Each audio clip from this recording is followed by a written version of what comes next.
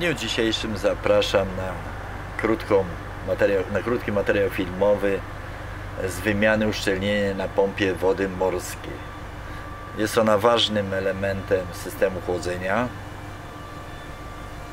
No, za zadanie ma przepompowywanie wody morskiej przez centralny, centralną chłodnicę płytową, w której schładza nam wodę słodką z systemu HT. Woda słodka potrzebna nam jest do chłodzenia silnika głównego, silników pomocniczych i wielu, wielu jeszcze innych urządzeń działających w naszej siłowni. A że tą wymianę prowadzimy awaryjnie, bo jesteśmy przed wejściem do kanału Kiluńskiego, muszą być sprawne obydwie pompy, to nie mam zbytnio dużo czasu na dokładną relację z, z, wymiany tego uszczelnienia. Tutaj przed nami wcześniej pokazywałem e, motor elektryczny podwieszony, korpus pompy, wiernik z wałkiem został już wyjęty, przeniesiony na warsztat. Obok leży element łączący w zasadzie element, na którym osadzony jest e, motor elektryczny jest on połączony z korpusem pompy na tym osadzamy motor elektryczny i mocujemy na mocno śrubami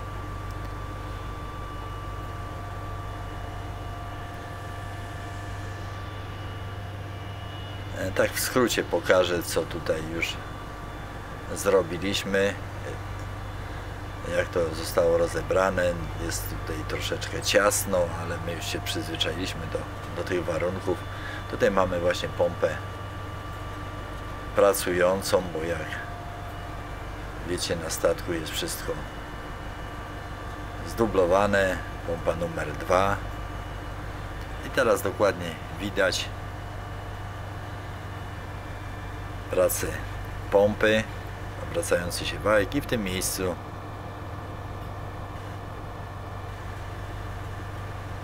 Wystąpił nam wyciek wody morskiej.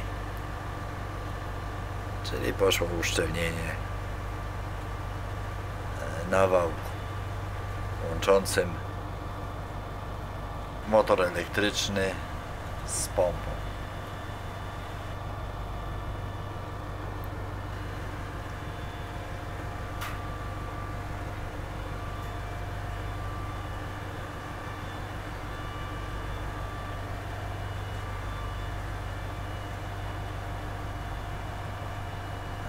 A tu mamy kurek odwadniający z pustowym, można powiedzieć. Tu mamy następny zawór odpowietrzający i zawór zwrotny na tym systemie. Teraz przeniosłem się na warsztat. Tutaj już mam rozebrane, zdjęte z wałka wiernik, uszczelnienie. No teraz właśnie to jest ta porcelanowa część naszego uszczelnienia. No i tutaj jest ta e, grafi węglowa w zasadzie, grafitowa, węglowa. I to tak pracuje. I powoduje to, że nam nie leci woda w korpusie górnym pokrywy. Umieszczony jest dach, od dołu idzie o-ring a tak jest to nakładane na wałek. Ja oczywiście, jak wcześniej wspominałem, nie mam zbyt wiele czasu, bo to jest robione awaryjnie i staram się jak najkrócej to pokazać. To są dwa pierścienie, które nakładamy na wałek.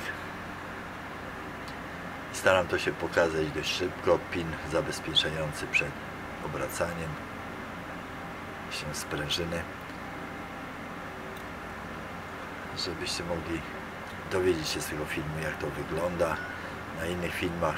Tutaj tak łaźdź właśnie została wytarta i ta dolna i spowodowało to wyciek wody morskiej z pompy na zewnątrz.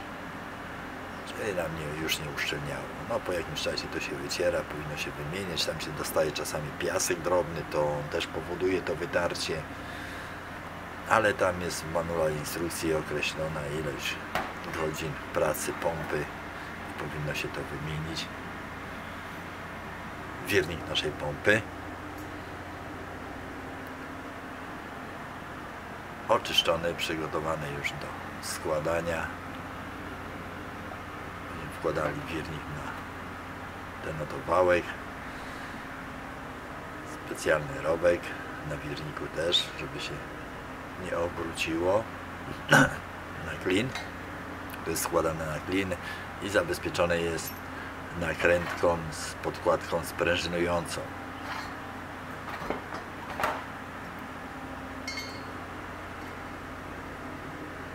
Na innych swoich filmach pokazywałem w całości powoli jak to robię, ale miałem na to czas, a tutaj jednak nie mam zbyt wiele czasu i staram się jak najszybciej to Wam pokazać, żebym nie tracił czasu, bo ona musi być dzisiaj jeszcze złożona i uruchomiona. A tutaj jest od strony właśnie wałka motoru elektrycznego, nad, tutaj w tą tuleję wchodzi wałek motoru elektrycznego, który przenosi napęd na wiernik pompy. Tu jest śruba rozporowa, to dlatego taka duża. Tutaj jest troszeczkę inna, to jest na zacisk ściągnięte. Taki trochę inny typ sprzęgła. I tak to wchodzi. Ten korpusik pompy, który idzie później przykręcany jest i dociskany do korpusu pompy. Jest taka górna pokrywa, że ja pokażę w jakiej kolejności to jest układane. I tak tą całość. Oczywiście tam wcześniej jeszcze idzie uszczelnienie. A już mam uszczelnienie założone na wałek.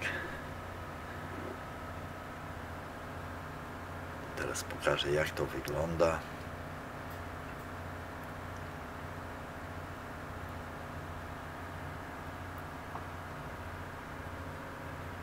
Pod tym właśnie dolnym, to znaczy górnym to jest akurat uszczelnieniem porcelanowym jest e, o-ring, który nam uszczelnia. Następnie idzie sprężyna, dwie tulejki, klin, który podtrzymuje tak zwaną blokadę robi tulejek, no i na to nasadzony zostaje wirnik pompy zabezpieczony podkładką sprężynującą i nakrętką. Nie ma czasu, żeby to dokładniej, wolniej zrobić, ustawić kamerę troszeczkę dalej, ale coś niecoś przekażę Wam i może ta wiedza zostanie w Waszych głowach. Brak czasu nie pozwolił mi dokładnie filmować jak wkładam wirnik w korpus pompy, ale to kiedyś może pokażę. Tu już mam wszystko na mocno skręcone. Podstawa dokręcona, także może mogę śmiało e, opuścić motor elektryczny i skręcić na mocno. Tutaj na wałku widzimy rowek klinowy, ale tak jak wcześniej wspominałem jest tu sprzęgło troszeczkę inne na zacisk. Także klina nie używamy do tego. No i tak wygląda.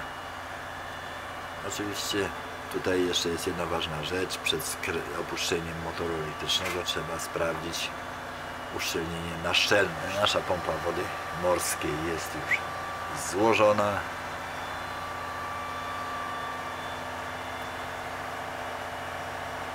Pozostaje nam tylko zdjąć bloczek łańcuchowy, podłączenie elektryczne.